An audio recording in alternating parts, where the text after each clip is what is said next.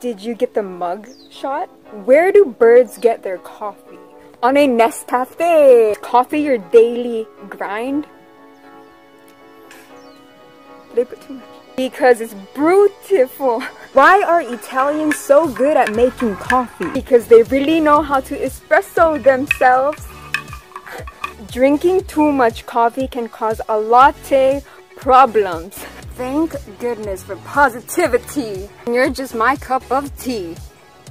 And terrific. Ah! These puns are bringing out my inner creativity. Have a good day, y'all.